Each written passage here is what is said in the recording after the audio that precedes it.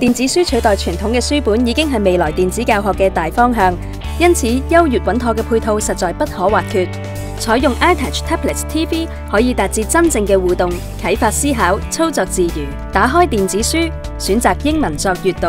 Once upon a time, there was a little girl. She lived with her mother. 可随意揭页，选择广东话作阅读。他们非常穷。常常吃不饱饭，更可以选择国语作阅读。